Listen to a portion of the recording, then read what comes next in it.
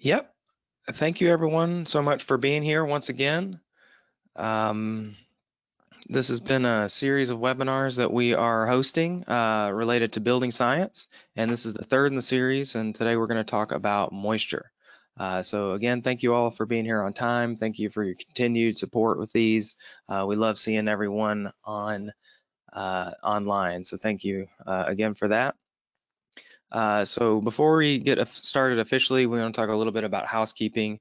Uh, you are in listen only mode, so if you have any questions, use the Q&A feature on the GoToWebinar platform, and uh, I'll show you how to do that in just a second. Um, uh, actually, there's not a copy of the slides in the handouts. There was a there so, will be there will be, uh, Ali will send it out uh, via email when the webinar is complete, and he'll also include a link to a, a recording of this webinar. So if you miss a, a little bit or you want to share it, uh, you'll have that capability uh, as soon as we're done. Um, keep the feedback coming. You guys have been great. We've got a lot of great topic ideas. So if you have any more, again, use that Q&A feature. And keep in mind, this webinar is for a general audience.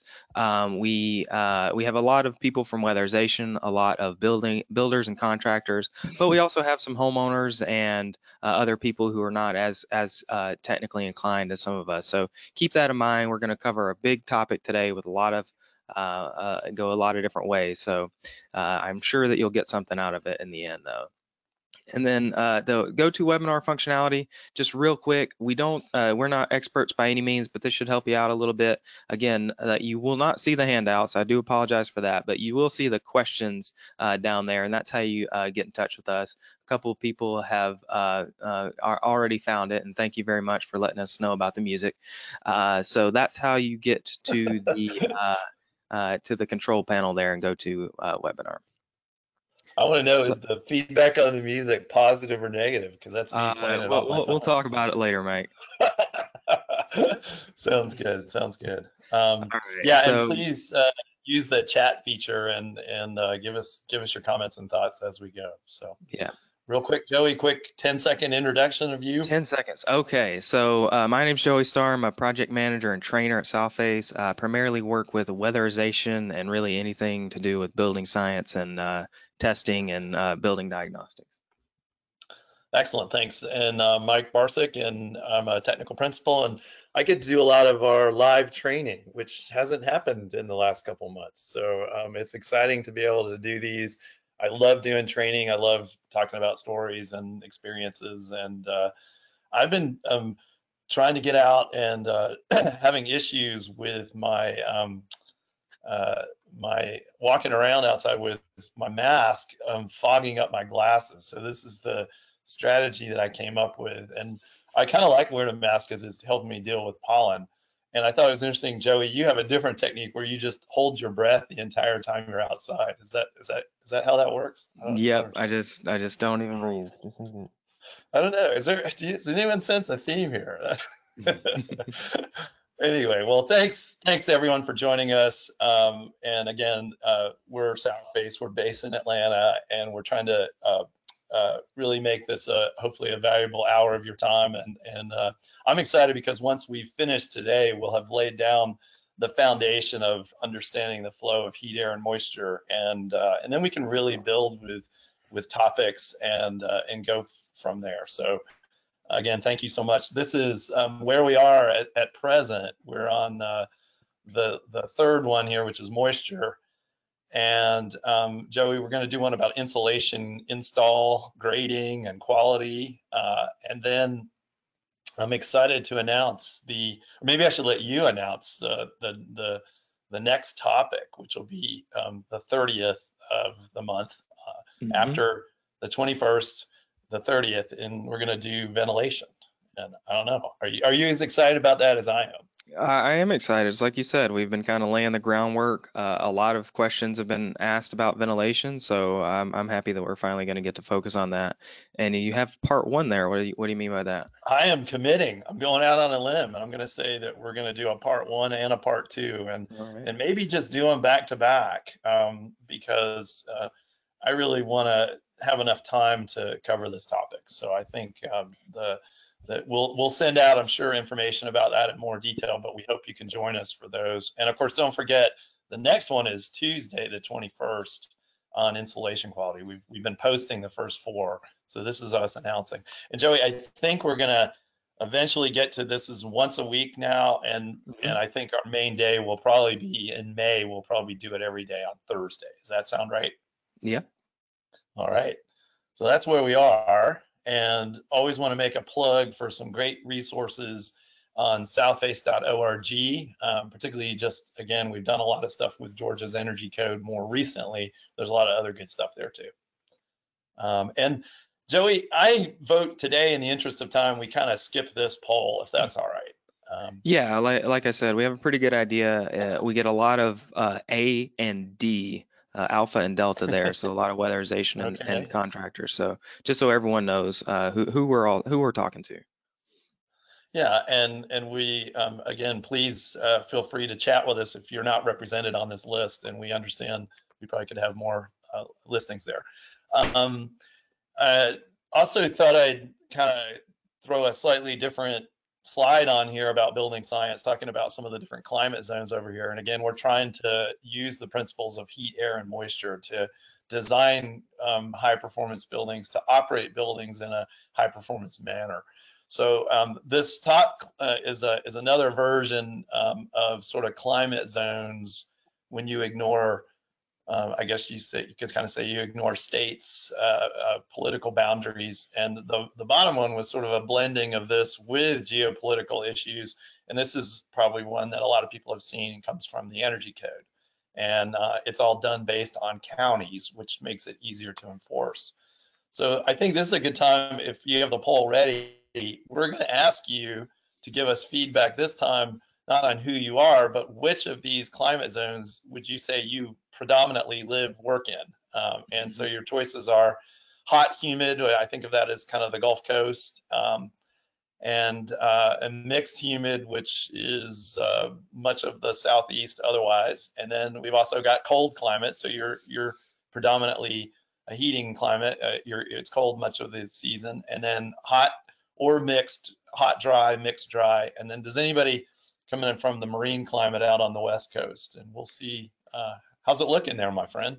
Yeah, we're about two thirds. I'm going to go ahead and shut her down. Uh, it's interesting, as you were talking, um, we had a, a lot of people that initially were choosing hot and humid. Uh, and then I think after you explained it, then they moved to a mixed humid. So I think we still have a lot of, of Georgians, um, but I think people are overestimating how, how humid their climate is, which, you know, if you, if you live in, in Atlanta and in Georgia, you definitely, uh, you know, you feel that humidity. So it's, it's funny. And then about, uh, seven percent cold and then one two percent uh, on the marine and the hot. mixed Okay. dry. All right. Sounds good. Mhm. Um, if you'll give it back to me. Uh, is it back on my screen yet? I'm sorry. Um, no, it's not. Here you go. Okay, so again, I, we probably should have left this up while we went to the poll, but anyway, Yeah. it, it's just something to think about. And these are kind of arbitrary. It's not like it doesn't get cold in the desert, and it's not like it, you know, and so on. It gets humid very much in other places. We acknowledge that, but these are sort of the designated uh, climate zones, or at least one way of doing it. Um, and again, as always, from a building science perspective, we're trying to reinforce this house as a system concept and um, push the push the uh, the understanding of it's more than the sum of its parts. It's the thermal envelope. It's today we're going to talk about this thing, the weather barrier. It's the heating and the cooling and the fresh air and the lighting appliances and, and of course plumbing is another uh, moisture issue. And I thought this was really good. Joey added this. Um, it's also uh, we're not operating in a vacuum here. Um, it's it's how the site uh, is affected or, and affects the the neighboring surrounding area. So we'll definitely see that in a little bit more. And then we keep throwing this uh, human factor in. I did attend a, a really good webinar that Eva hosted um, the other day, and it had Suzanne Shelton talking about um, what what people are going to be looking for in homes and in new home design. Um, it was excellent. She's amazing. They're they're uh, they're uh, the Shelton Group does really good market research on what people want. And after after we get through this pandemic, what do people want? They certainly want healthy homes. Um, and she mentioned Sam Rashkin, um, who a lot of people probably know who Sam is um, from from EPA Energy Star and the Zero Energy Ready program. uh, mentioning that it's important that we say that this home was built, you know, in accordance with sort of construct uh, uh, with healthy uh, practices and with health in mind. It's built to live in healthily, but humans could go in and wreck that completely. You know, you can come in and be dirty, you can come in and be messy, you can come in and do stinky stuff. And uh, again, the, the people living in the house really can have a lot of impact on the actual performance. So I thought that was kind of an interesting perspective. Well, I want to do a really quick recap, Joey. This is the um, the three things that we've talked about, or we're going to talk about: heat transfer, anything. Uh, we one commonality is everything kind of goes down the hill. So heat heat goes from hot to hot to cold. It's always going to go in either radiation, such as the sun to the shingles, or conduction from the shingles through the decking through a solid, or um, convective, like when we you know put a uh, a soffit vent and a ridge vent and warm air rises up and out. So um, then last week or earlier rather, we talked about air movement and this is where air moves from high pressure to low pressure. And the amount of air that leaks out is equal to the amount of air that leaks in. And in order to have air leakage, we need a pressure difference and we need some sort of a leak path, a hole. And our goal, of course, is to get rid of the holes. And of course, we acknowledge the three driving forces, which are the wind, the stack effect, warm air rising, and mechanical fans. So that was our first two webinars. Our third webinar, similar kind of high level concepts, moisture wants to move from wet to dry. Um, liquid water, you know, I learned this in engineering school, liquid water goes downhill, but you know, it's also possible for it to go be wicked upwards. Um, and then we also have a water vapor movement by this process called molecular diffusion, where it travels from uh, a location that has a high amount of water molecules to a location that is uh, much lower. We would say high vapor pressure, lower vapor pressure, and it would permeate permeate through a solid material. Little H2Os would permeate through. So that's called diffusion. And then the other way water vapor can travel is um, on an air leakage. Uh, humid air leaks in, humid air leaks out. That carries a whole lot of moisture. So those are kind of the big four right there. Um, and uh, I always found it interesting if you talk to anybody that's kind of sort of big in this world of building science. Um, and uh, many of us have something that was kind of life changing or some sort of really impactful episode. Uh, and Joey, I thought you shared this picture of your home. Can you kind of, mm-hmm. you know, tell us your journey with moisture? Yeah, so uh, if you guys can't tell from my accent, I'm a- actually am from the southeast, and I, I moved up to, uh, to Illinois um, uh, a few years ago, and I basically first time I had encountered a basement, and uh, I th- thought that maybe the you know I could smell some something going on in the basement we had hoped to just kind of get the carpet up and, and maybe uh, you know paint the floor, but ended up uh, being a little bit uh, bigger of a job than we had anticipated because we noticed some um, some potential uh, harmful bacterial growth uh, in the uh, in the basement there. So that's a pretty pretty standard story. I think we'll see some similar pictures of that that we we see quite often. Yeah, and and it was funny because I worked at Southface. Um, and at one point in my life, I, I, I, don't, you know, I started working at Southface and I started learning about building science and really applying this. And I'm a very applied person, so it was a, it's a great fit for me. And um, at one point, I realized I'm like, you know, I, I've always had allergies. I'm allergic to mold and other things, but mold was a big one. And I started thinking back, and it was like, I started counting, and I can count over half a dozen houses that I've lived in and every single one of them has had or has a vented crawl space. And um, the house I grew up in, all, houses I rented when I was in school, houses that I bought, houses that I rented after, you know, the house I lived in, I live in today when I bought it. Um, and I trace a lot of the indoor air quality problems that affected my own health um, to the crawl space. And um, hopefully that'll be a topic we get to do one on because I love this this topic of finite crawl spaces and how to fix them. Um, but having done this, my health is definitely better. And so Joey and I were talking and we thought if you listening have a story you you think you could condense down to you know a paragraph or a couple sentences um, and you want to share it with us we might try to read some of those at the end so if you have a story um, particularly around moisture that sort of will probably stick with you for the rest of your life um, feel free to share it with us in the meantime we're going to drive on and we're going to um, talk about again in more detail the four main things about uh, the way moisture can flow. So the, the key here is that two of them are liquid, and that would be bulk moisture and capillarity, which is a fancy word of saying wicking. So bulk moisture is liquid water, it's plumbing, it's drainage. Capillarity is wicking. And of course, moisture is always going from wet to dry. And also from the water vapor standpoint, the issue of uh, vapor diffusion on the molecular level passing through a permeable material, and also air leakage or infiltration. Um, so we'll drive on and we're going to start, we're going to kind of go in this order. So we're going to talk about some foundation waterproofing issues. We're going to talk about site drainage issues. And then later on at the very end, we're going to kind of do a little case study and talk about something called a drainage plane in more detail.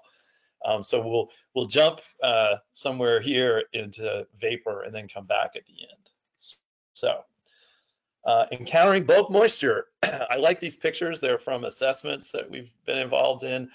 This one, um, if you kind of look at it, you can see that there's a plumbing leak that's actually causing the foundation wall to be wet. It's probably a small drip or a small spray off of this. Um, usually it's the solder joints and things that leak. Um, and then this photo clearly indicates there have been, um, it's dry now, but there clearly have been some moisture issues. You see uh, evidence of wicking and um, mold growth, and you see rust on the bottom of this. And you know, all of that indicates, you know, there's a moisture issue in this house. And it probably didn't fix itself. You know, maybe it did, but it probably didn't. So if you encounter this and it's dry, uh, that doesn't mean the house is, is good. Um, so let's take a little section of foundation waterproofing. And boy, if there was ever a time when a belt and suspenders approach is, is not a bad thing, I would say it has to do with foundation waterproofing. And probably one of the most challenging systems is a basement. And I, I would say if you're doing a basement where it's at least partially or fully below grade, um, you really want to do your homework on this. And um, there's probably a dozen things you could do here. And if you do 10, 11 of them, you know, chances are you're probably going to be okay. But if you only do about half of them, you're really kind of rolling the dice. So most people that I see with foundations like this, they do a pretty good job of putting uh, gravel and then plastic underneath the slab. So you see that part right there and they generally tend to do a decent job with waterproofing the foundation wall itself, maybe a spray on or some sort of foundation. And they use often a drainage material like a mat with a filter on it. And the weak link tends to be the footing. And the footing right there at the bottom is able to essentially, it's, it's sitting there soaking wet and it wicks water up through the stem wall and out through the slab and so here you did a great job on most of it, but this is the culprit right here. And so what we would suggest is that you either wrap the footing in plastic. Uh, that's one way to do that. Uh, and essentially tie that plastic into the plastic under the slab and tie it into the waterproofing on the stem wall uh, and, and make it a continuous, you know, watertight system. Um, that's one way to do it. I'll, I'll clear it here and say another way of doing it is to pour the footing and waterproof the top of the footing. And then when you do your slab, you tie your plastic to that and you do your, your uh, uh, foundation wall drainage uh, or waterproofing, you tie that into it as well. So that I think is a very important detail that boy, once the house is built, it's pretty hard to pick it up and fix that. So you really want to get that right. Um, also, other important details, there's a, a, drain tile. You'll notice the, the drain here is not on top of the footing. Uh, again, if it's next to the footing, that helps keep the footing dry. And that, of course, needs to, to route somewhere. It needs to, to flow downwards to, you know, to daylight or to a drain or to a sump pump at the very least. And then, of course, the grading on the the the foundation against the grading that slopes away the downspouts the gutters the the, the take the water away. You know joey the rule it's unwritten but it's uh, the rule on gutters and downspouts is to try to take the water off of your roof and away from your foundation and dump it into your neighbors. Did you know that? That's i think that's in the code somewhere. Yeah. yeah, yeah. Not, not so sure well, good good fences make good neighbors, but Oh, fences don't really trap water. So Oh, is that is that how that works? Yeah. So um, the other thing is um, one last detail is anytime you transition from concrete to wood, I always recommend some form of a capillary break, uh, an anti-wicking break, um, because uh, we build out of so many porous materials. You know, um, uh, mortar and brick and concrete and wood and insulation products and gypboard and all this stuff can wick water. So um, that could be a uh, peel and stick type membrane, that could be a metal flashing, that could be a, one of those pretty inexpensive sill gaskets that also helps to air seal. All of this um, is just going to relieve that ability of water to wick through and, and continue on, on up into the house. So a nice detail. Here's some more pictures, just if you're not familiar with the kind of the, there's a bunch of products out there that often have dimples and some sort of filter cloth. Um, this was actually our Southface building that we built in the mid 90s. We used an ICF foundation wall for the basement. Um, we waterproofed it. We did a drainage board that was kind of like a duct board like product. It's a, it's a drainable fiberglass board that drains down and it adds a little bit of insulation. Um, and then there's also the drain tile you can see that's going around and taking the water to the to the drain. Um, here's an example of the footing wrapped in plastic, and here it looks like they're installing some drain tile. Um, other big thing is the the site. Um, you know, this picture on the left, it's just it's the way the site has been graded is anytime there's a hard rain, you're just loading up the foundation with moisture. So that that has some real uh, you know, pretty much guaranteed problems with that. And it's going to result in a lot of ex extra air conditioning run time to try to dry that and, and just very likely going to lead to some rot problems. This one is a real common um, thing I've experienced where they took the foundation, excuse me, they took the, the downspout and all the water off the roof, you know, they caught it in the gutter, they captured it, they ran it down here, and now they're dumping it into the foundation the grade slopes into the house, the foundation drain dumps into the house. I don't know if you can, Joey, can you tell on your screen that that's actually a little bit green? The bricks Yeah. are turning green. yeah, you, can, see, that. it. hmm So, so not a not a good thing. Uh, I thought I'd show some pictures. This is the one of the houses that we worked on in January, and we had um, a couple Boy Scout, a half a dozen Boy Scouts in their troop leader, and and um, they were awesome, man. I just, you know, we I just said, here, do this. I didn't get a good before picture, but the grade sloped right into her foundation, and the brick was really, you know, muddy and dirty, and so I had them uh, essentially dig a swale and uh, backfill against the home here. So we're really trying to divert the grade slopes this way, and we're trying to divert it around the corner. So I think of a swale as a very shallow. Um, it's not a ditch. So of course, you know, they kind of dug a trench, and I said, well, I kind of need you to to ease it more. And so it's a real, it's a shallow, um, more of an indentation. And the idea is that we're getting the bulk of the rain from instead of going into the house, we're just giving it a path to the back. This house a creek way back here, and once we cleared the back of the house, it all sloped beautifully down to the creek. So it was great. We just had to kind of get it there as opposed to into the foundation. I think I have some more pictures.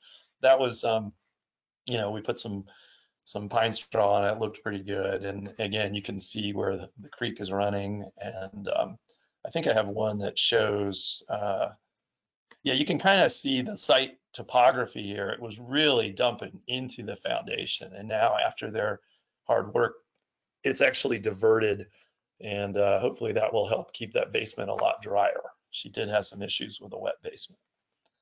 The other thing you can do besides a swale, of course, is a, um, a French drain, and there's all kinds of ways to do this. But for me, you dig a little trench. Usually, you put a little uh, little stone on the bottom, then you put a in, a perforated pipe, and the perforations are on the bottom. You kind of there's usually some filter cloth somewhere in the process, and you wrap it with um, you know, gravel or stone or whatever. And then um, sometimes you leave the gravel exposed so you actually can see it, but other times you might put a filter cloth and then just grow grass on it. And it, it's basically like an in-ground gutter. So you're trying to, if you're on a slope, it's a way to, of course, divert the water around the foundation. And I know a lot of people understand this, but but you know this is stuff that's got to be corrected on homes. If, if we're going to start weatherizing homes we, we have to address moisture as a part of that. So this is a this is a, a really important thing. I had to fix these kind of things on my own house before i could do a closed crawl space and and seal up my crawl space because I, I you know vents or no vents uh, bad drainage on a crawl space which a lot of houses have you know, vents aren't going to fix that, and closing up is not going to fix that. So you, you really got to remove the lion's share of the moisture load. Okay, we're going to shift over and talk about water vapor. And um, water vapor, uh, and this is an interesting photo. I, I, this was someone brought this to us. I did not take this photo, but I believe there was a fair amount of humidity in the attic. They were air conditioning their house, and you can see um, probably the house was under negative pressure because there was a leak in the attic access, and it was pulling humid air in and and essentially, you know, hitting on cold surfaces and eventually starting to grow stuff. Um, what caused the high humidity in the attic? I don't know. It could have just been, you know, living in the South. It could have been um, uh, I'm sure you you may have run into this before, Joey, in your weatherization mm-hmm. travels, where there there's a vent, there's a bath fan, but there's no duct whatsoever. This one has sort of a duct, right? It, yeah, they tried. It, they forgot to put a sign that says air, please keep going. Uh, this is what I call faith-based ventilation, where we hope and pray that the air knows it needs to go out the ridge. I don't know. So anyway, um, that's that's of course an important reason why we must duct this fully to outside.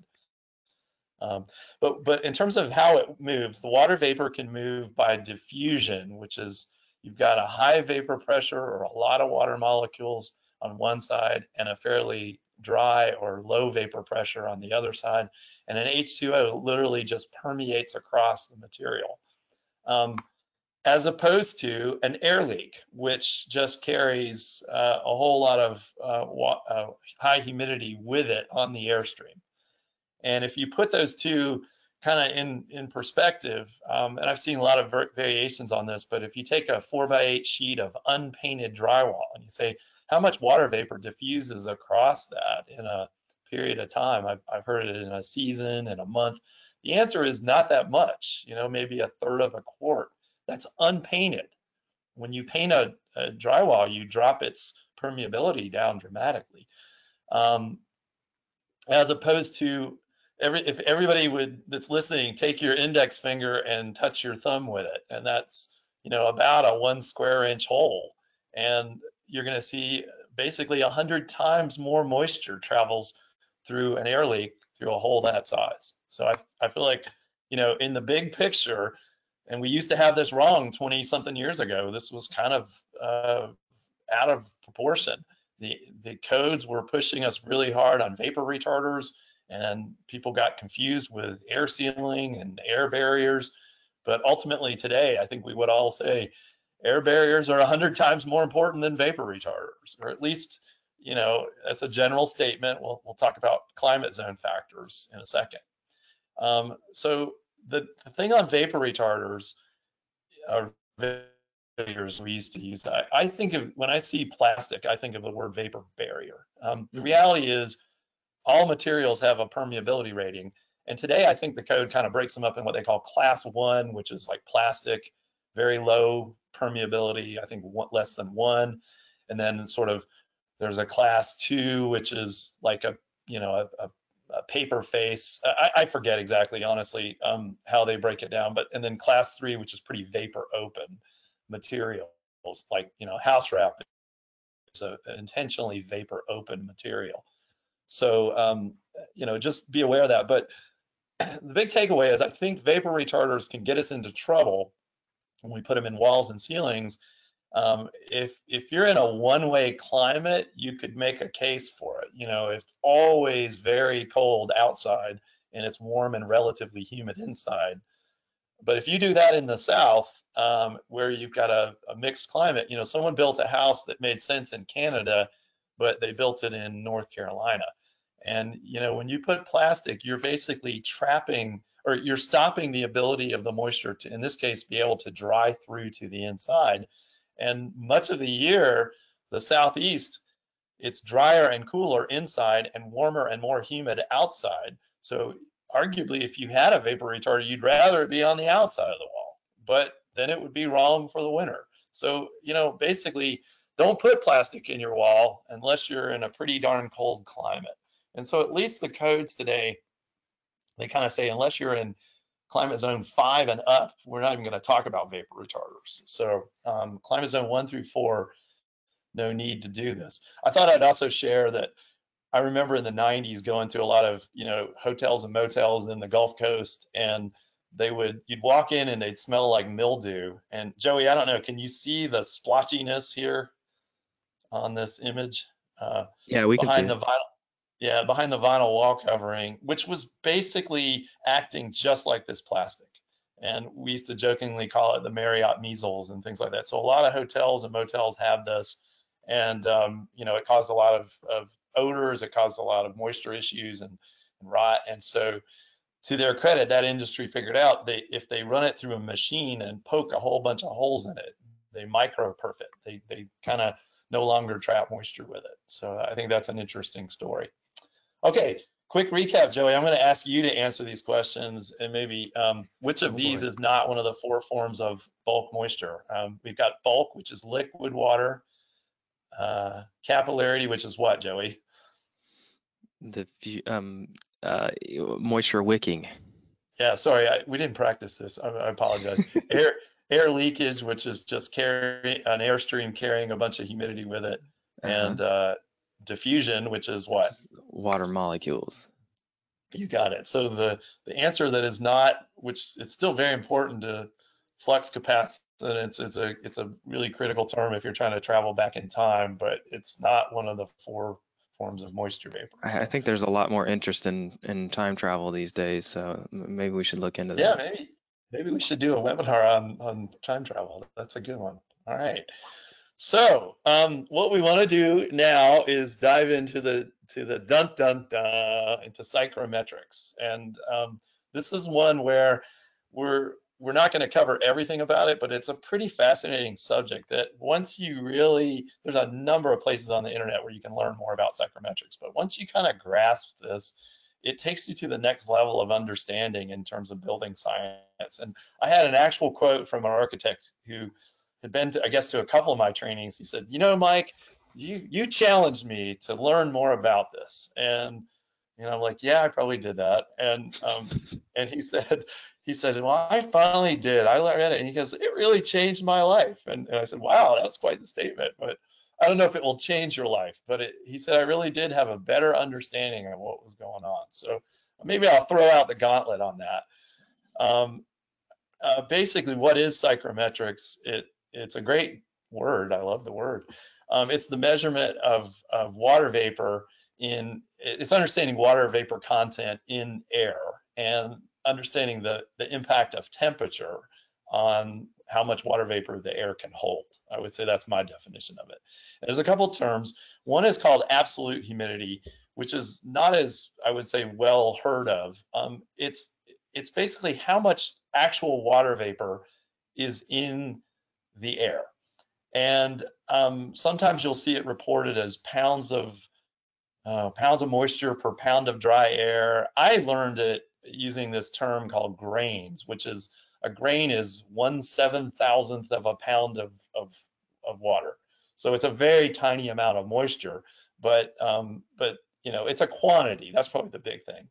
And I'm sure a lot of people have heard the term relative humidity, but what does it mean? It doesn't mean anything unless I also tell you at a certain temperature. So understanding that air at any given temperature is capable of carrying a certain amount of water vapor how full is it relative to how much it could hold? So that's my definition. And then finally, dew point, which again, a lot of people hear it. What does it mean? If the dew point of the air is 60 degrees, that means any surface that's below 60 degrees, that that air comes in contact, you're going to have what, Joey?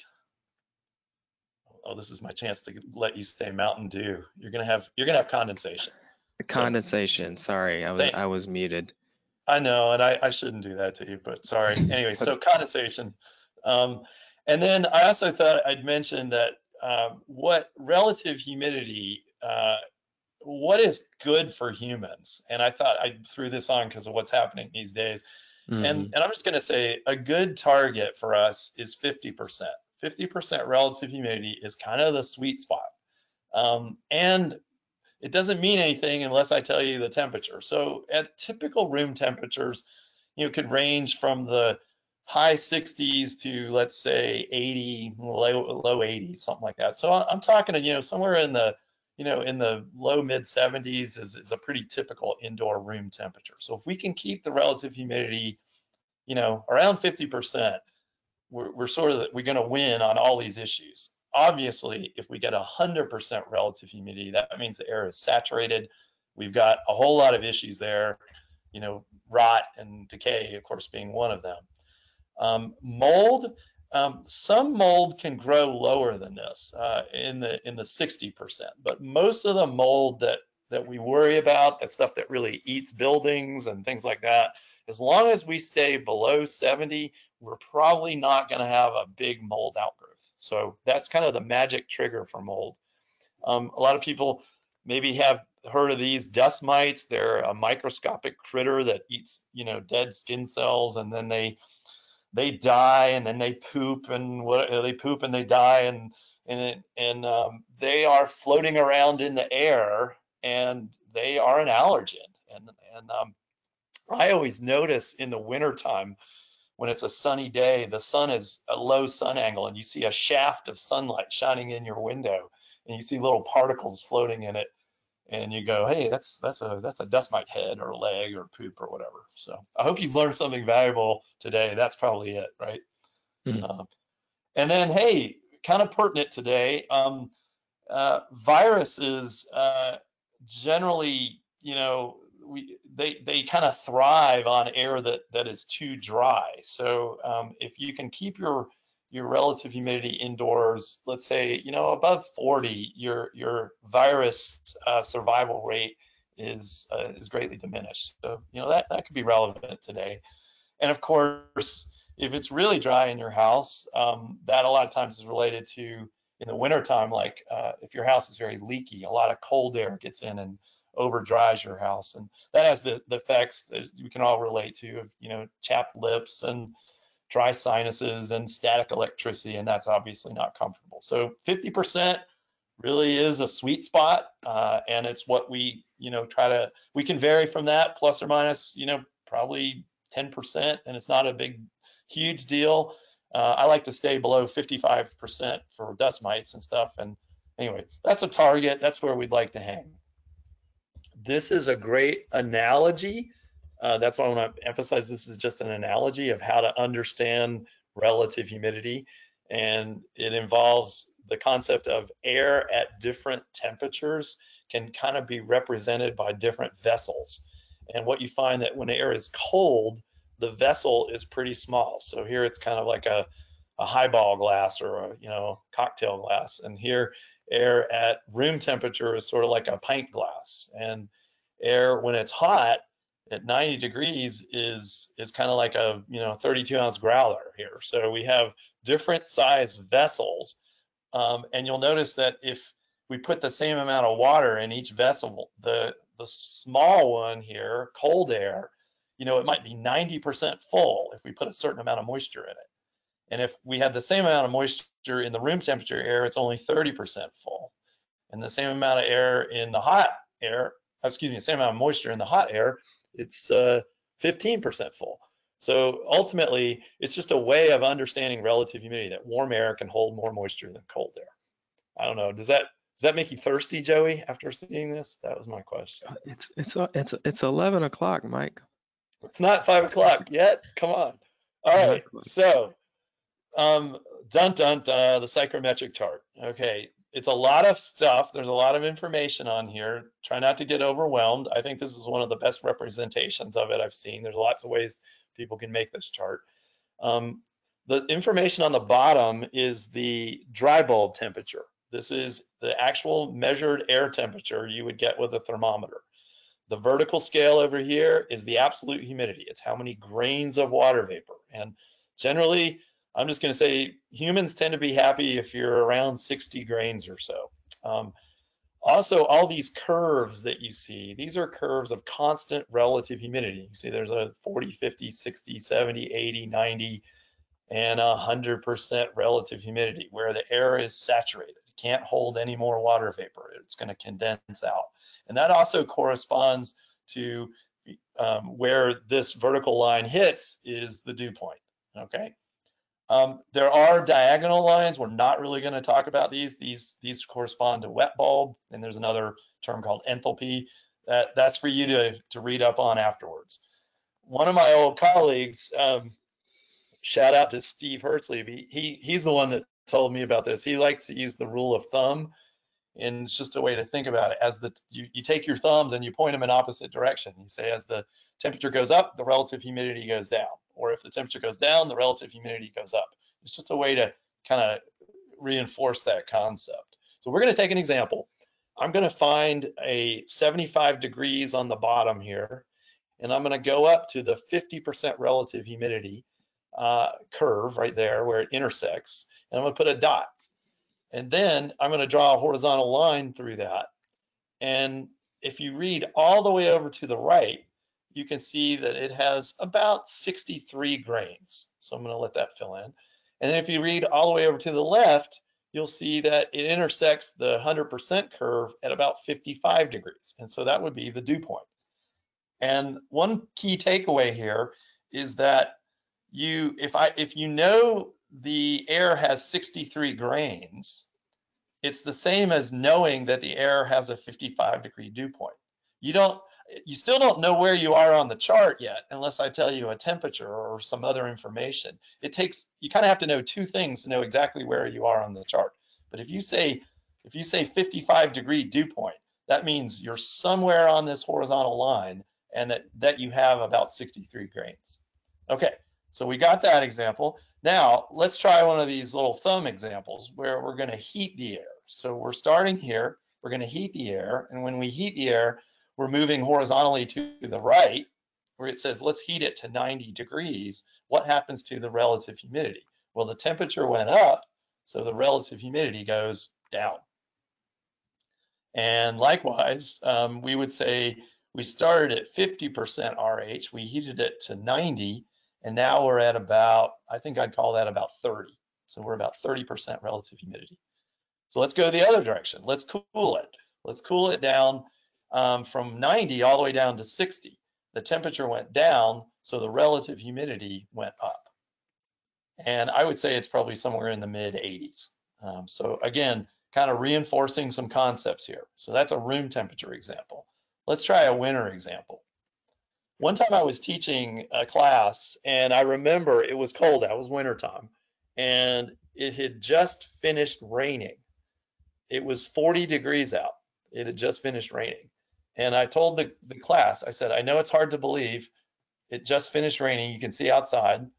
Um, if a cubic foot of that air leaked into our building right now, it would dry out the building. And everybody was kind of like, What? I don't believe you. You're a liar. And I was like, Well, let me see if I can prove it to you. So I said, Let's assume that the air just finished raining. It's, you know, somewhere in the 90% relative humidity, but it's um, 40 degrees. So let's go down here and find that spot and I'll put a, a, a, dot and then we'll draw our horizontal line and that can tell us that how many grains, it looks like about 30 and you can see that from the right side and it looks like you don't have to go very far before you hit the left side and dew point's probably 37 and a half, 38, something like that. Um, and so what's interesting is now I said, okay, that cubic foot of air leaks into your house, and now the furnace or the heat pump has to warm it back up to room temperature. So let's heat it up to room temperature. And now we're up at 70 degrees, and the relative humidity, of course, went down. And I would say the new relative humidity is, I don't know, 28%. And so it actually is drying out the house, even though it just finished raining. That's that's a crazy. That's one of those things where I have to. I usually have to smell a permanent marker and kind of think about it. But I don't know. Do you ever do that, Joey? I don't. I I'm, don't. try- recommend that. I'm trying to quit. That's good. That's probably good. Anyway, so um, an interesting concept. And of course, if you cooled it down to 38, you'd be uh, increasing the humidity. You're probably right at just about at saturation. So the next example I want to talk about is a summer example. And I want to I want to start on a day where it's not that hot, but it's really muggy. So we're to find 80 degrees Fahrenheit. So it's temperature wise not all that hot, but it's 80% relative humidity. I'm gonna put a dot right there and I'm gonna read over and I'm like, wow, that is a whole lot of grains of moisture. I'm, I'm guessing it's around 123.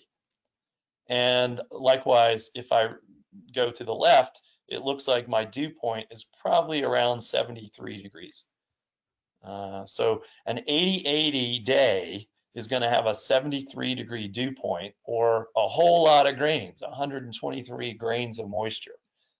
And, you know, this is a little bit of hand waving, but let's pretend that that's how it is in the morning. Then the sun comes out and it just blasts everything and the air heats up to 95 degrees. So of course we're going to travel that way. And um, naturally the temperature goes up, so the RH goes down. And so instead of 80% humidity, now we're at 50% relative humidity. But we still have the same amount of grains and the same amount of dew point. So that's one consideration is that, you know, when it's 95 degrees out and 50% relative humidity, it's the same amount of moisture as when it's 80, 80. And also think about it. We have many, many more hours of the summer, at least here in Atlanta, where we have these conditions than when we have these conditions. Frankly, the hot days are not really the problem because the hot day, the thermostat says run that air conditioner. And so we're getting cooling, but we're also getting a lot of runtime, which means drying. The challenging days, of which we have many, many more hours of days, or, or hours, I guess I should say, like this, is the 80 80 conditions, where it's not that hot, but it's all muggy and it's the same dew point. So I think that's that's a really good takeaway from a, from a humid climate. So if we cool that air now down to 75 degrees, you know, we're definitely increasing the RH. It's probably pushing 95% relative humidity. We don't have to go very far. We're two degrees colder. Uh, we're at we're at dew point. And you know, when you think about it, if the air is like that, it has a 73 degree dew point. Joey, have you ever encountered a home where someone set their thermostat at 70 in the summer? Mm, Occasionally, yeah. Yeah, I, I mean, you know, people who really want it super cold, and try not to be too judgmental here, but you're actually creating surfaces that are, you know, below the dew point of the outdoor air, which is a little bit on the edge. So something to think about. Um, so having said that, I've got some quizzes, Joey. We're going to go fast through these. You're Ra- going to have rapid to, fire, you're I'm going to ready. rapid fire. So here we go. Cold air is very what? dry, Dry air, you got it. Which can hold more moisture, warm air or cold air? warm, Yeah, warm is the bigger vessel. If a cubic foot of air gets heated, what happens to the relative humidity? thumbs down, Thumbs down. If a cubic foot of air is cool, what happens to relative humidity? thumbs up, Yeah. It, without changing the moisture content, heating air will cause RH to, thumbs down, yeah, I was gonna say it was a trick question. Um, let's say you've got uh, a certain amount of air, we'll say 75 degrees, and you're not gonna change the air temperature at all, but you're gonna mist, you're gonna use a room humidifier. You're gonna mist humidity into that room. What will that happen? What will happen to the you're adding grain, so it's gonna increase. Exactly.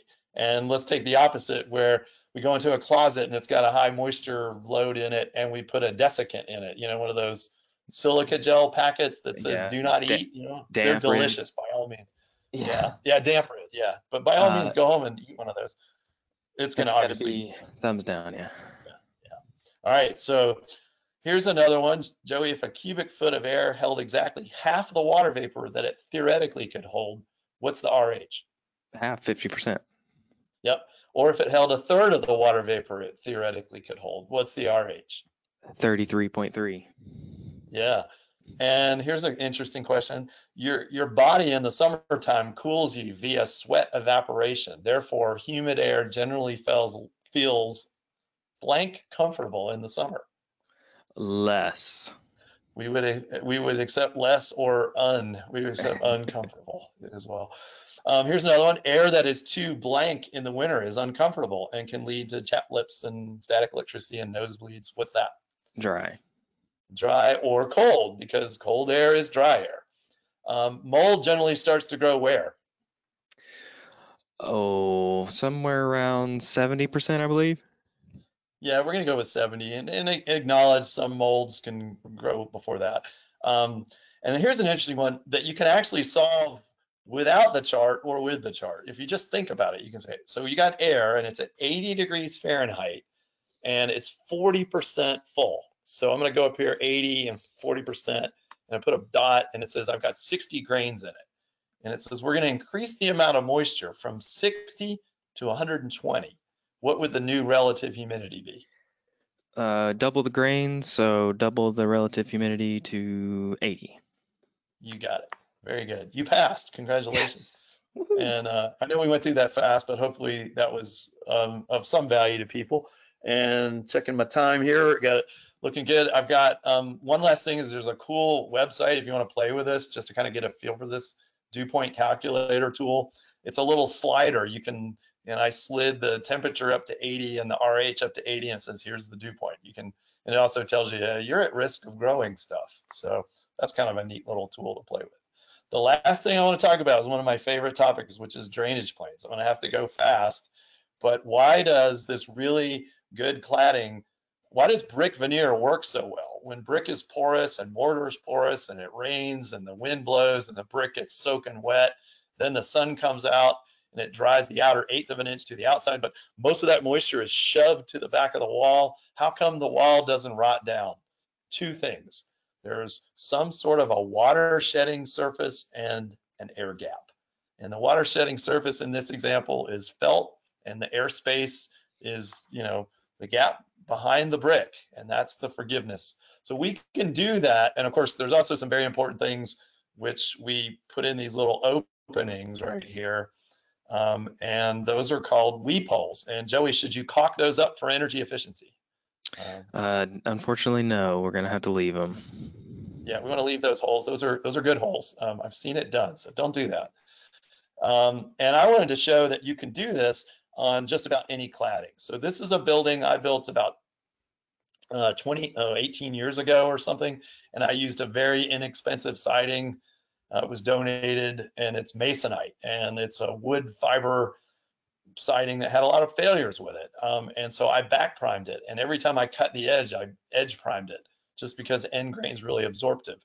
But I, I put furring strips over the, the house wrap and that created a vented cavity behind it, which really helped with the durability. That's kind of what it looked like. Um, and what's interesting is that building looks like I painted it yesterday. Uh, I, I, have talked to other builders that have done this, and the main thing that you get out of this is paint life. So even though, yeah, fiber cement siding is pretty hard to kill, I would still do this because of durability and moisture forgiveness. There's a lot of products that and ways to get there. This is like a almost like a little Brillo pad that is a spacer piece. It's called Home Slicker. Here they're using felt as the water barrier, the water shedding barrier but they're and they're using some other kind of cladding on it. There's some great systems out there. If you're going to use house wrap, getting the details right is really critical. And this is one where I got to admit, in my early days of construction, I just did what they told me. I kind of did it wrong. We'd wrap over the um, rough opening and we'd take a utility knife and we'd cut an X in the house wrap and then you'd peel these four triangles to the inside, the left, the right, and the bottom. Those are okay. The top was wrong because then we put a flanged window over it like these people did and you get some wind driven rain. Just imagine a drop of water hits the house wrap. It needs to flow down and essentially be shingled away. It tucked in behind the flange and rotted out the heading. This house was not even a year old, or it was, was only a year old. Um, so how do you do it correctly? Um, we want to cut an upside down Y and the left, uh, peel the left end, the right end, the bottom end, cut some slits and fold the top up set your window and then go over the top of the window. Um, sort of like in this picture, don't be, this is some uh, J molding for the vinyl, but you can see that they flashed it correctly. Um, so that's a good segue into integrating your windows and your other types of flashing properly. What's wrong with this picture? That flashing should be behind the house wrap. They should take a knife and cut the house wrap and tuck the flashing up uh, behind it. And here's another example of a, of a, sort of moisture problem built in. That that siding should not be run all the way. That there should be flashing that that you should be able to see for a couple inches, and also no kickout flashing to divert the water away. That's going to be a, a failure. Um, here's some pictures. I this is one a building in my own neighborhood. I saw them. It had siding nailed to the studs, and uh, looks like masonite siding. It had some moisture problems. Water can wick between lap siding um, and also air can move through it. And um, I like products, I like these kind of products that have the weather barrier already attached to the sheathing and a really good tape that if it's applied right works well. There's also fluid applied weather barriers. Here you see some. Uh, it's got an interesting look to it, but it's all going to get covered up and it's going to perform very well. Um, and I, my last thing is I wanted to show a little case study. I don't have any good before pictures. I need to do a better job of that. But I had a wooden board that probably was a doorway and then some siding. This is what my house looked like when I bought it. And I just had some of these, I was putting on some solar panel, uh, solar hot water a long time ago. This is what it looked like. So I started tearing into it and um, I removed the siding at the top. And I wanted to point out that one thing that my wife and I did before we bought our house is we blew cellulose dense packed in the walls. And for the most part, it didn't fall out. I had a, a, couple little spots where I learned how to, you know, do this. So I just put felt over it just as a net, basically, to keep it from falling out. So I, I, I wanted to point that out. The, the felt is not there for any moisture reasons, although it doesn't hurt. Um, and uh, and I patched the places that needed to be and covered it all with the felt. And then when I tore into where this door thing is here, this is where it was like, wow, that's really ugly. I pulled that off and and they had just I don't know, it was hideous. And then I pulled the insulation up and I was like, oh, I can see into my crawl space. So that's not a good thing. My wall's venting into my crawl space. So I air sealed it and I insulated it. And now it's time for sheathing. And the sheathing that I used is a hybrid sheathing that um, basically it goes by the name of structural insulated sheathing. So it's a structural panel that is only about an eighth of an inch thick and then it's got foam board attached to it. And I think it was a, a, half inch total. So I just didn't have a lot of depth to play with. So this was a good product for my application. You have to put a lot of fasteners in it, um, about double what you would do with say wood sheathing. And um, then you have to countersink all the fasteners because you really want the nail head to grab the energy brace or the thermoply part right here. Um, so it, it, it didn't seem like it was going to be that hard to do. It's only a couple of sheets, but my arm fell off, so it was it was hard. Um, this is uh, caulked a couple places, but basically I taped the joints. Uh, I sealed the seams, and now the skin of this um, product is basically my weather barrier. So that's what it looked like. And then I wanted to do the um, furring strips, but here's a nice detail. Uh, I took a three inch strip of insect screen and I needed something to hold it. So I just ran a little bead of caulk to squish it into and you can see it hangs down about an inch and a half lower than the sheathing. And then when I put my furring strips on it, and I ripped furring strips as thin as I could get. I just took a pressure treated two by and I ripped it on my table saw and it was more than an eighth of an inch, but less than a quarter of an inch. So I'm calling it 3 sixteenths. Um, really any gap is good. Um, and it doesn't have to be three quarters of an inch, although some builders just use a one by, um, which is fine. Uh, so anyway, I, I did that and then I folded the, um, the screen up and stapled it into the bottom of the furring strip. And um, that created essentially a vented cavity that critters can't get up in there and nest. So I think that's a nice detail. Uh, so there it is. It's pressure treated. I went, you know, because I'm me, I went ahead and just dipped the ends in a in a primer bucket just to get a little really make the bottoms last, but it's pressure treated, so it should hold up pretty well. And then um, I used fiber cement, and I hadn't done it, I hadn't used fiber cement in a while. Um, I caulked the ends, but I did a butt joint. It's called a floating butt joint. And if you just put a piece of either metal or felt or some kind of flashing behind it, that's a nice detail as well. Even if you don't do the furring strips, I would definitely do that that sheet metal. But anyway, that's what it looked like. And um, there you can see the gap. And here you can see it's going on. I'm checking my time here and we're almost done.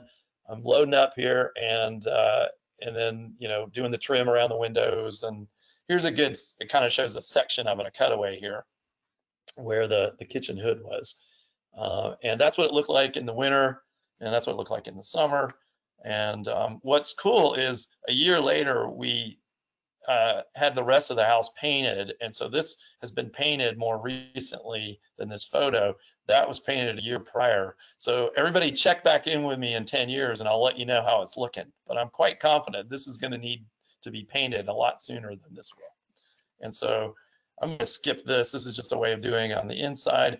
There's also a great product that uh, um, the zip system has this with the R value already attached. My friend Carl built a house like this and he used the home slicker product to fur out the the uh, fiber cement. I mean, that is just a really solid, you know, I think he did a two by six construction with this foam board and the weather barrier. I mean, that's just a really high performance wall. I like that assembly.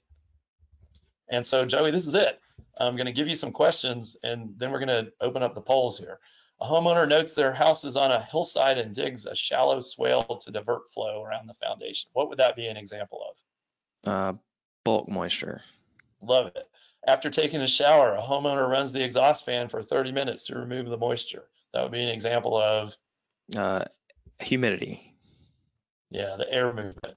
Um, uh, a homeowner notes that the bottom six inches of the drywall in their garage has some mold growing on it, and they had a plumbing line that flooded their garage last month, and they cleaned it up pretty quickly. What caused that to happen? Um, is that capillarity? That would be that wicking effect. And then finally, a homeowner notes that their plastic in their crawl space, I see water underneath the plastic. And and what what's that water coming from? Uh, is that the diffusion? Yep, that's water diffusing up. And the, the vapor retarder is doing its job. It's keeping that water in the ground. So, whew, man, that was a lot of content.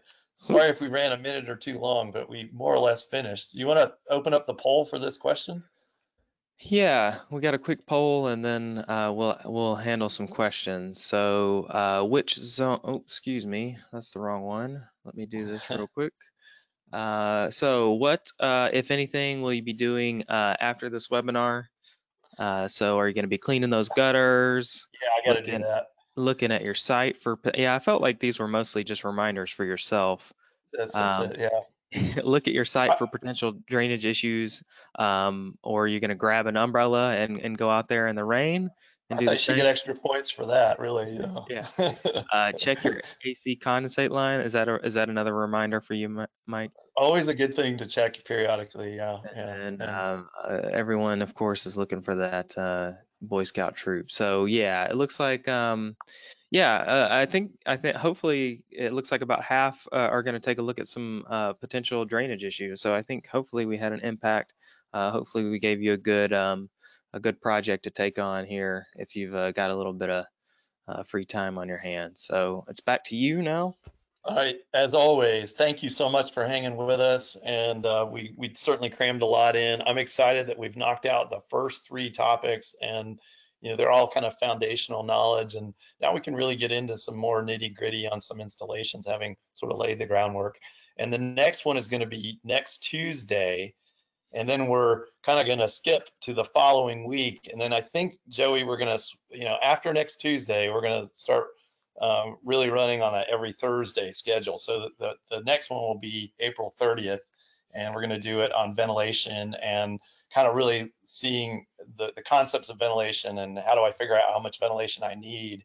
And then uh, maybe the following one, I, I'm going to try to make that be the second part of ventilation, which is how do I do this? You know, what are some good ways to provide fresh air and and what are some you know pros and cons? So um, again, thank you so much to everybody. Um, we made it to the finish line. If you want to stick around and, and join our chat, uh, or, or, you know, usually we do 15 or so minutes of questions. Um, hang in there. Joey, what do we have? Anything? Um, so first things first, uh, I did uh, forget to put the handouts on on the actual GoToMeeting um, interface. So Ali is going to be sending those out uh, probably later later today or possibly tomorrow. So you'll get uh, the handouts and you'll also get a webinar recording uh, of this. So um, I did have a couple of stories. Uh, I think we asked Oh, that pretty early on. Um, so uh, naturally, a few people had um, issues with water in their crawl space. You know that un- underground swimming pool uh, scenario that we see a lot in in I should have put that picture in. Yeah, Yeah. yeah. Um, someone Yep. was having uh, potential uh, humidity issues in the attic as well, um, which we see, you know, uh, quite a bit. It's getting a huge gain in the summer, uh, and then also from the winter as well. So uh, we do, we do see that. Um, let's see, handouts, blah blah blah. Uh, kraft paper. You want to talk a little bit more about those vapor diffusion retarders? Do we need those in a mixed humid zone? Yeah, I think that's a great question. Um, I would say if you, this is my opinion, if you are doing batt insulation install, which is um, coincidentally the topic we're going to be talking about on, uh, part of our topic on next Tuesday. Uh, I, I, my personal preference um, on insulation is I like sprayed insulation because you, and you can spray foam, cellulose, or fiberglass. I like sprayed insulation because I think the coverage is better. But if you're using batts, I would prefer unfaced batts. Um, Mhm. and they're they're you can get a vapor retard you can get a vapor retarder paint if you really feel like you need a vapor retarder uh, and you're but if you're in climate zone four or three or two or one you don't need to worry about it. Just use unfaced insulation. The reason i like unfaced better is because i, I think people tend to screw up the paper faced uh, install more so. We'll talk more about that on the next uh, webinar but that's a great question. Eh, like I said, in, in my opinion, uh, I would use unfaced insulation. And um, I just think you get a neater fit, and that's what, you know, really neatness counts on, on, uh, on fiberglass batts. Um, and also the permeability of plastic is, you know, it's probably below 0.1, it's point, I think six mil poly is like 0.06 permeability Mhm. and paper facing is probably like half a perm. So, Right. you know, it's almost an order of magnitude different um, Mhm. in terms of, of, you know, and, it, it- you know, order of magnitude means we move the decimal point. And, um, and so do you need it in climate zones one through four? No, the paper facing, I would almost even say zone five, a lot of zone five probably doesn't really need plastic. So I, again, plastic, because it's so unforgiving, I would tend to lean towards, um, you know, a, a lesser, a less stringent vapor retarder if you feel like you need a vapor retarder. There are products too out there. Um, one I know is called MemBrain that are actually kind of like smart vapor retarders that if they get wet or they actually open up and become more permeable. Um, so, you know, if you really want to go that route, if it makes you feel good, go for it. That's a, a better choice to me than plastic. But if you're in climate zones one through four, I would say, you know, use unfaced and don't worry about it. Yeah. Um, we had a question uh, on the weatherization. Um, I'll take this one about uh, the vapor barrier under a, a, a crawl space. Uh, it does generally need. yeah, yeah, exactly. And and it does generally need to cover the piers. I mean, I, you didn't say which state you are, just that it was mixed humid and hot and humid. So Yeah. uh, best practice is to cover those piers uh, with a poly and then, you know, put that in, in there with a ramset gun if you're working with um, concrete blocks or, you know, you can nail it up if the um, beams are, are wooden in some crazy uh, reason. Yeah, that's no, that's a good point, Joey. And I was going to add that um, on my own crawl space, we kind of did a detail where we we skirted the piers with some plastic and ended up kind of using like a combination of mastic and Mhm. tape Yeah. Didn't use any mechanical fasteners, but the combination of the mastic and the tape on the skirting around it um, seemed to do the job, and it seems like it's holding quite well. Yeah. And then of course the that laid down onto the ground, and then the ground plastic tied into that plastic of the skirt. And we'll yeah. talk more about that. Yeah, Yeah. the tape is actually that's an interesting point. Uh, our friends at Community Housing Partners that we do a lot of our weatherization training with, they they turned me on to the uh, using actually that zip tape.